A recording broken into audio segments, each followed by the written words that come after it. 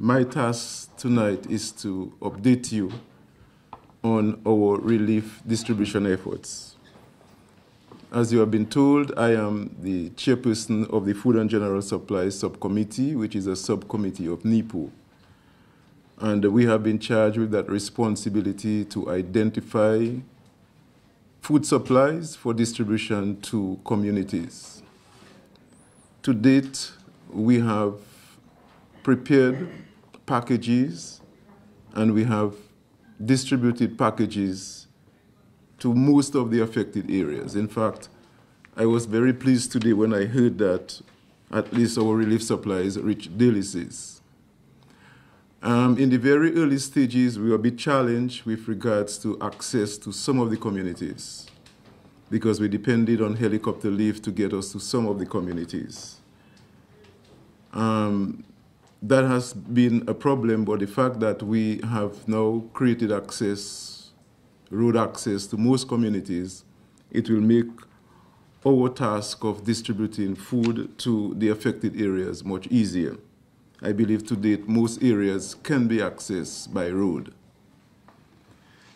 We have also attempted to, to improve on the organizational structure that we have in place for the distribution of relief supplies. And we have, as part of NEPO, we have the Food and General Supplies Subcommittee, what we have attempted to do, and even today we had a meeting with a subcommittee to assist us in terms of improving the delivery of service. And um, there is what we have created, what we call an, um, an administrative arm to support the relief distribution effort. And um, we have created some subcommittees of that arm to assist that process.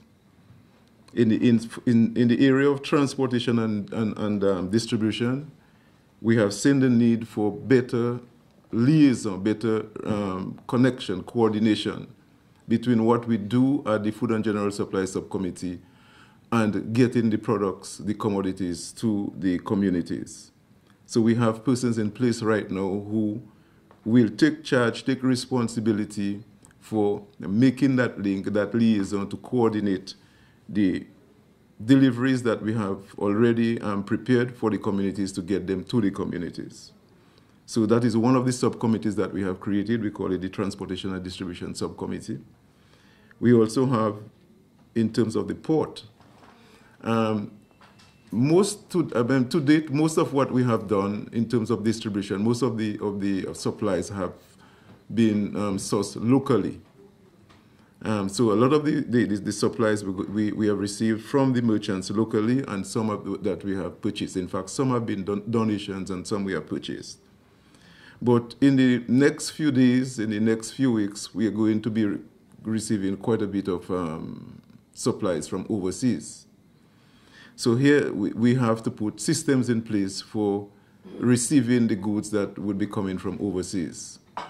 So we have already um, established some, uh, set up um, personnel to receive goods that are coming by sea and to receive goods that are coming by air.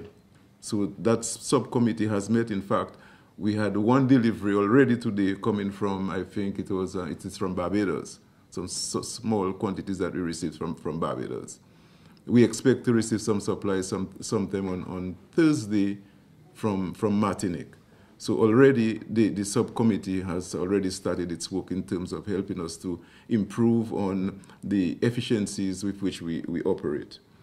And there is also a liaison committee that we need to be able to, to assess better the needs of the communities presently, and again, given the challenges that we had in terms of getting the information from the communities, a lot of what we have been doing in terms of distribution has been based on our best judgment.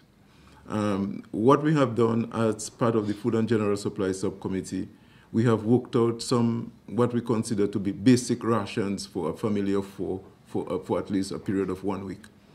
And even if we do not have the exact information coming from the communities, if we have the numbers, we can use um, the ration so that we can, we can provide food for the communities.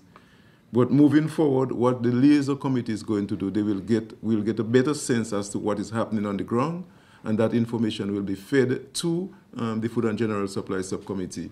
And then we will be able to, with more confidence, determine what the sizes of those packages will be and distribute to the communities. There is a, a very close link between what we do and what um, the Welfare Subcommittee does. So this, Mr. Martin Anthony will speak about it.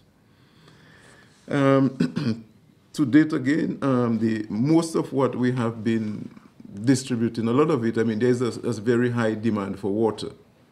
And we probably would have um, distributed more than probably close to 800 cartons of water to all the communities.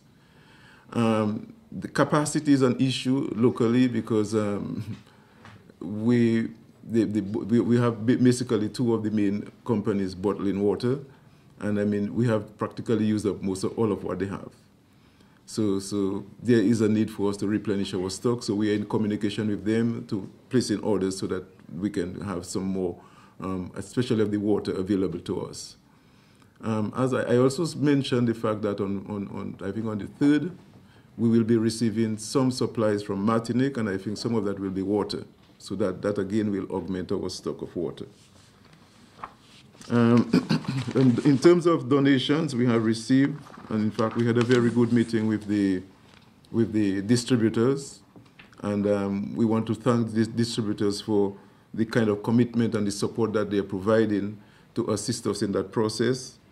So a lot, most the distributors have committed themselves to providing um, goods on, on discount and also to be able to use um, their transportation. So transportation is, is at our disposal that we can use transportation to get to the, to the different communities. Um, so again, we just want to thank them for for what it, for the effort that they, the, the private sector that they have provided so far in terms of um, the donations that they have provided to us.